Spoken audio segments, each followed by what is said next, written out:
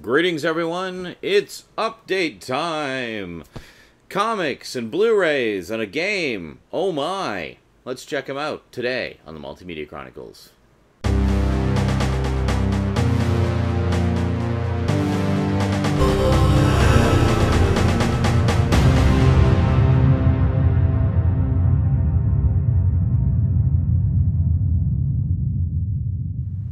Welcome back. I was just going to do the comics and books today because it's Wednesday, it's comic book day, but I thought, uh, you know what, I don't have a lot of other stuff, so why don't I just do everything all in one big massive update. So here we go, comic books. I had fallen a little bit behind in some of my, uh, you know, series that I like to collect. So uh, I decided to get up to date on most of them. There's still a couple others I need to uh, track down. Um, if you watched the Doctor Who video yesterday, you'll know that I picked up the latest issue of the Fourth Doctor Adventures. Just quickly throw that out there. Um, so let's see what else I got. All right, here we go. So first up, had to get the latest issues of this one. You know I've been collecting it and enjoying it immensely. Got issue 16 of Jem and the Holograms. So this is the sixth part, uh, the concluding part of the Dark Jem storyline, which has been going for a while. And then we get the start of a new storyline with issue number 17 of Jem and the Holograms. So there we go. I think it's just a two-part story right now, and then uh, on to something else after that. and then next up, as you know, I've been collecting these and enjoying them immensely, and uh, will probably continue to do so for as long as they last. Picked up issue 3 of Scooby Apocalypse. Yeah, doesn't look like the Scooby-Doo you might know, eh? Ah, ah. I, I don't know why I made those weird noises, but uh, it, it's out there. It's immortalized on video now. Uh, and then, of course, picked up. I had, was all raves about this one when it came out, and uh, boy, it just it looks even more awesome now. We have issue number two of Wacky Raceland. Absolutely beautiful post-apocalyptic madness. And then we picked up issue two of Future Quest. Very nice indeed.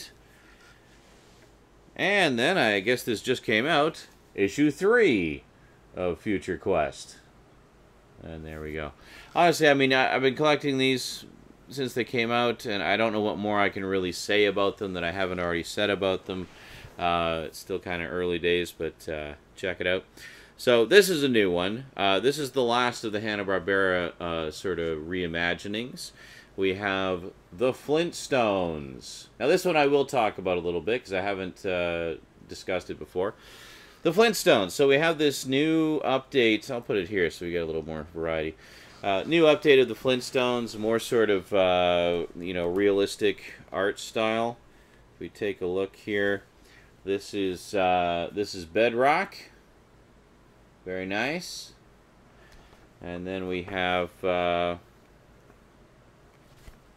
you know, Fred at the quarry, going to talk to Mr. Slate. Very familiar elements here.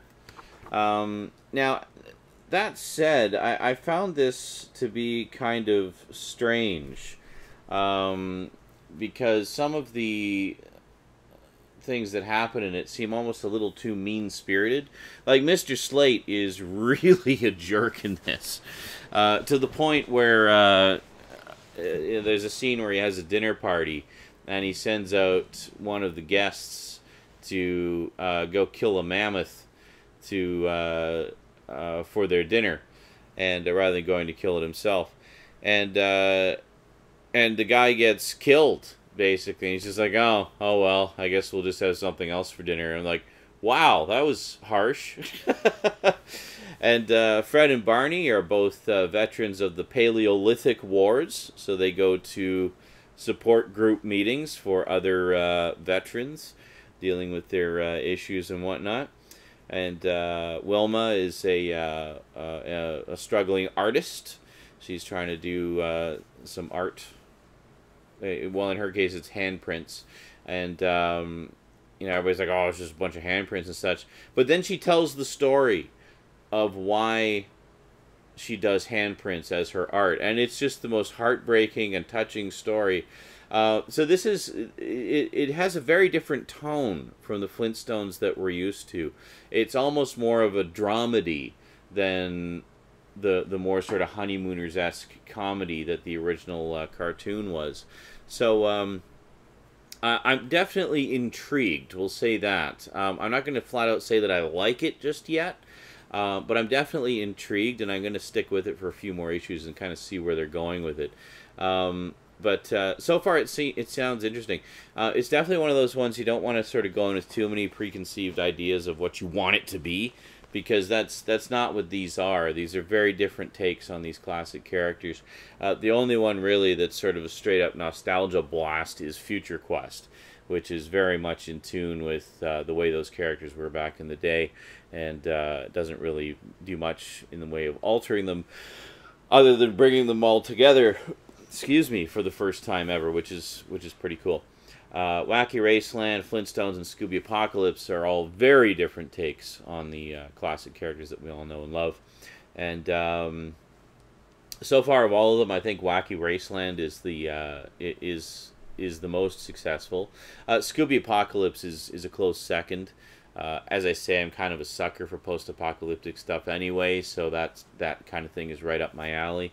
But uh, yeah, so enjoying those two very much and willing to give the Flintstones a couple more issues. And Future Quest, uh, I actually still sit down and read Future Quest all the way through. I just I read I read the first issue, but uh, I have to read the the other two. But uh, I like where it's going so far. It's definitely a lot of fun and definitely feels like you know those action adventure cartoons of yesteryear. Next up, picked up a couple of paperback books, uh, which basically fill in some long-standing gaps in my collection. Uh, one of which is Heretics of Dune, which is the fifth book in the original six-book Dune cycle by uh, Frank Herbert before he passed away. There have been numerous other Dune books since, written by uh, Brian Herbert, his son, and uh, Kevin J. Anderson. Uh, which I understand are also quite good, but not quite as good as the originals. Um, at the very least, I, I may read those other ones at some point, but at the very least, I've been wanting to read the original six. Um, and I've had five of the original six. Remember, I always talk about that box of books that went missing? Yeah, I originally had the first six books, or the original six books of Dune, in that box, and they all went missing. Um, so being very picky about my reacquisitions, I wanted to get the exact same editions that I used to have. Uh, some minor alterations, though. This is uh, an earlier printing of the paperback that actually has the title embossed. If you see that there, it's all shiny and bumpy. Very nice. And uh, overall, this is in pretty nice condition. I mean, the spine doesn't really have any creasing on it. Uh, a little rough on the edges, but uh, but overall, actually, uh, a very very clean edition, uh, considering how old these paperbacks are. So pretty cool. Very excited to have that. So finally, I've got the first six books again in uh, the original paperback editions that I had, um, or slightly better editions of the same, you know, versions that I had. I don't like the newer editions because they they kind of clip this artwork, and I really like the cover art on these. So I wanted the full cover art as it originally appeared on these particular paperback editions and uh, and such. And also, you know, just the, the, the, the spine style, like the font and everything, it all goes together very nicely. It doesn't line up perfectly, just it, it has a similar aesthetic to it on the spines, which is quite nice and uh, and looks great on the shelf. And then next up, uh, this this is um, I should mention I have had this book and this book in my collections for a very, very long time. Basically, since these came out. These are, uh, this isn't quite a first printing. I think this one is. Let me look here. So, Star Wars, over 5 million in print. What are we going to do with all of them? Um, okay, this is definitely not the first printing. This is the 25th printing from March of 1981. Uh, yeah. So the first Canadian printing was January 1977. The fourth Canadian printing was November 80. Oh, I guess this is the fourth Canadian printing.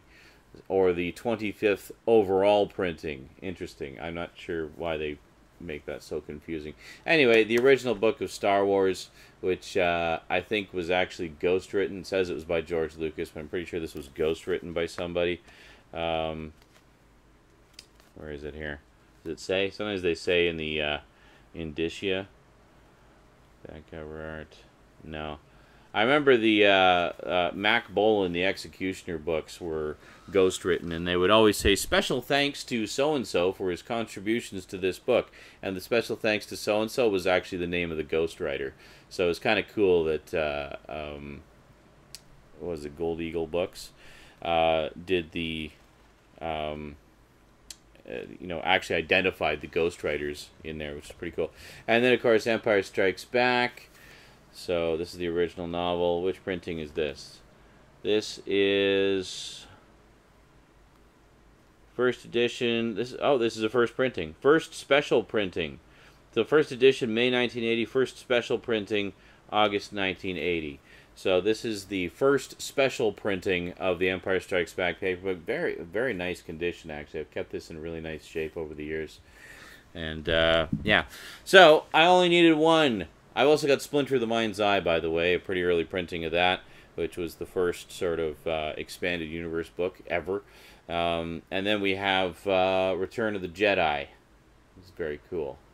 Well, I guess I shouldn't say expanded universe. I guess the first sequel book, because there was also the Han Solo books, but I can't remember if they came before or after.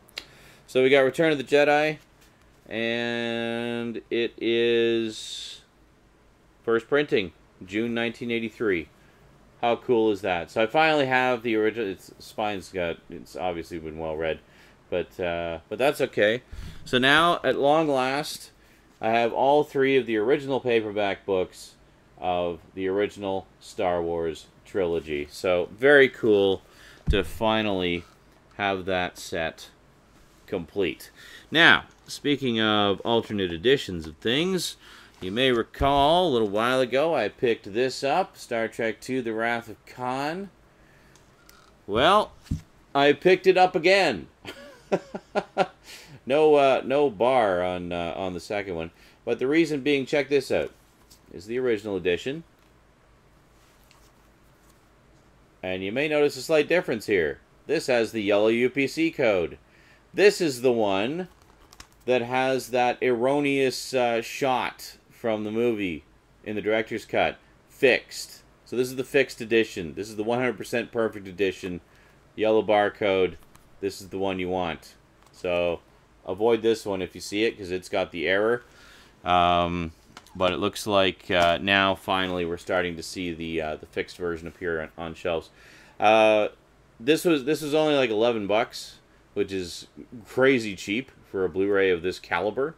Um, so I mean, all told, I think I paid maybe twenty bucks, twenty five bucks for both of them, which is essentially the price of like a new release. So I'm not overly concerned about that. And uh, I said at the time I was going to buy the fixed version because you know I want to fully support this release in the hopes that they will perhaps do remasters of the other movies.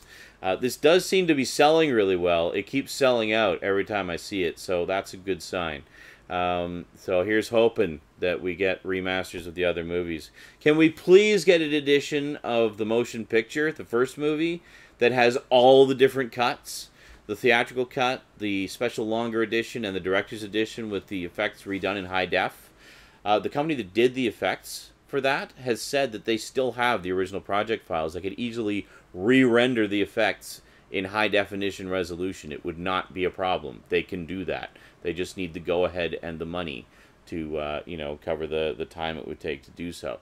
So come on Paramount, let's let's make that happen. Seriously, G- give us give us Uber editions of stuff. Um, next up, I didn't buy a lot of Blu-rays lately.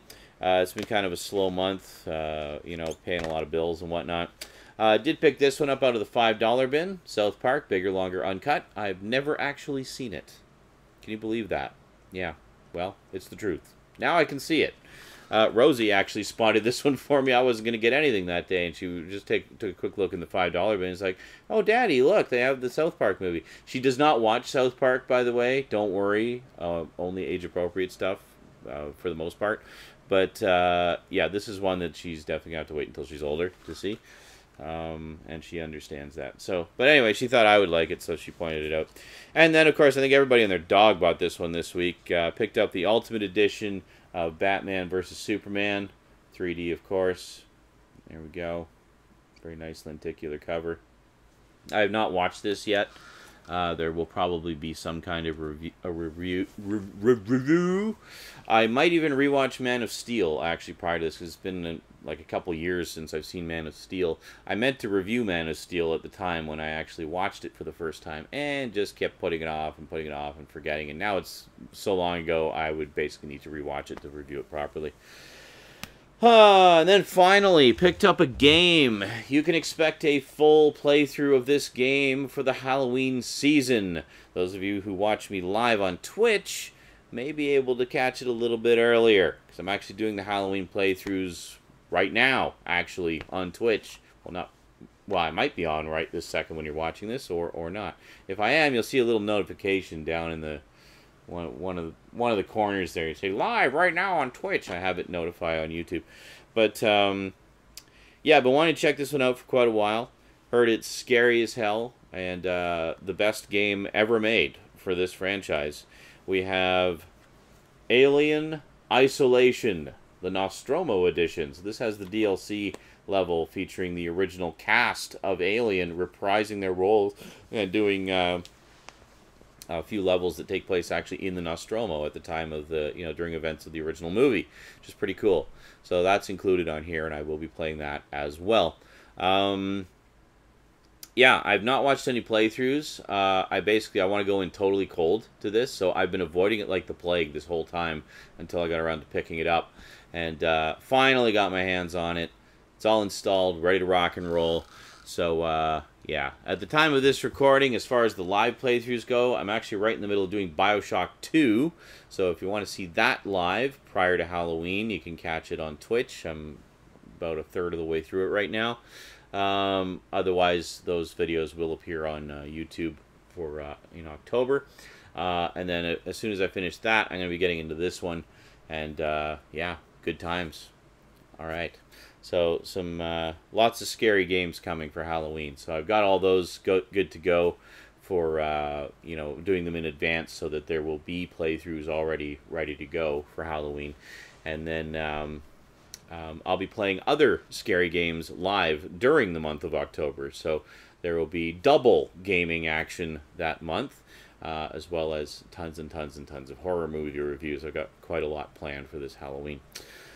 Alrighty, so yeah, kind of a, a, fun grab bag of stuff. Got some cool cool goodies there for the collection. Not too much in the way of movies, but hey, whatever.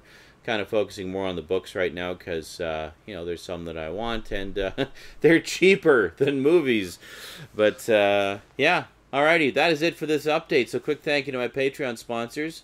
Thanks, Patreon sponsors. You guys and gals are awesome. Special big thanks to Kyle Pellegrini and Get Your Gorgeous On, my two highest level sponsors. Really appreciate the support, guys. Uh, Get Your Gorgeous On is, of course, the wonderful eMag maintained by Michelle O'Toole and Simon Hedger. So check it out when you get a chance. Alrighty, that is it from me to you for now. So until next time, thanks for watching, and sayonara.